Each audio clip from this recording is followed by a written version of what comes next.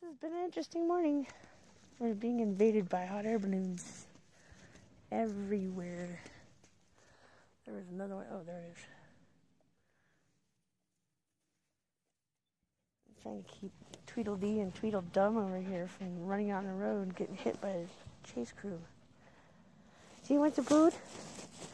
Yeah. or by losing their minds looking at this. This is crazy.